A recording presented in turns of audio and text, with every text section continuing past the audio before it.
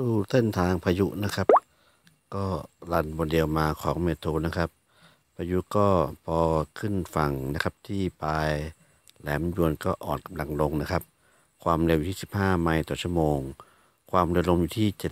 72 ไมล์ต่อชั่วโมงนะครับ แล้วก็การสปีดถึง 85 ไมล์ต่อชั่วโมง โอ้ย โทษทีครับ ไม่ได้ลงเท่าไหร่นะครับมันปีเป็นไมล์นะครับ เพราะว่าผมตัวนี้ตั้งเป็นไมล์ไว้ไม่ได้เป็นกิโลไว้ นะครับงั้นความเร็วลมก็ยังค่อนข้างสูงอยู่นะครับ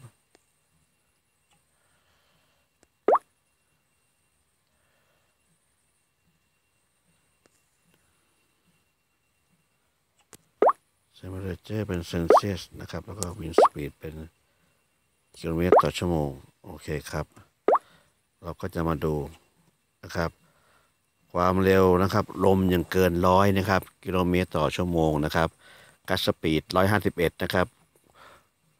การเคลื่อนที่นะครับ เมื่อขึ้นแหลมยวนแล้วนะครับ เป็นยี่สิบสามกิโลเมตรลดลงมาจากยี่สิบแปดนะครับ เห็นเส้นทางนะครับ แล้วก็ดูนะครับ ภาคกลางกับกรุงเทพมหานครเนี่ย วันที่ยี่หกยี่เจ็ดนะฮะก็ยี่ห้าก็มีผลแล้วนะครับยี่หกยี่เจ็ดที่คงมีผลของฝนตก นะครับ ในเขตกรุงเทพมหานครเช่นเช่นเดียวกันนะครับ นี่คือวันจันทร์นะครับ ตอนหกโมงเย็นนี่จะอยู่ที่บริเวณรายแหลมยวนนะครับ ชัดเจน งั้นณจุดจุดนี้ครับยังพบกลุ่มเมฆฝนนะครับ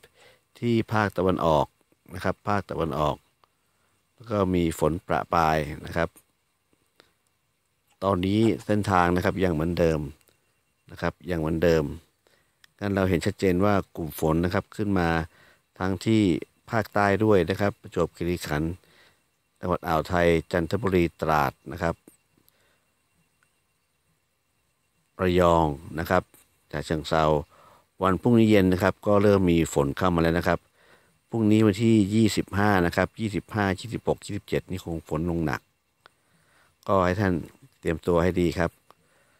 เน้นที่พายุลูกนี้นะครับ